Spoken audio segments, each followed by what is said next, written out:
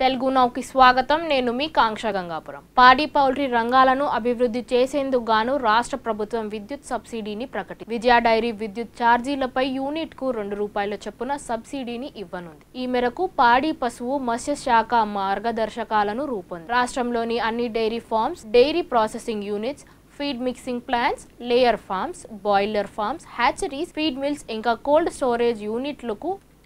అర్హులైన dairy poultry యూనిట్లను HTTP slash slash ఎలాప్ తెలంగాణ జిఓవి డాట్ ఇన్ వెబ్సైట్లో నమోదు చేసుకోవాలని సూచించి చూస్తూనే ఉండండి తెలుగునో